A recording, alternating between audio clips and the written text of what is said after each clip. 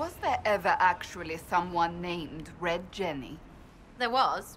Maybe. Doesn't matter now. You don't ever wonder how your organization got started? Why? It isn't like a chantry where starts matter. That would be giving it too much credit, that's true. I'd be careful. The one in Nevarra is mean.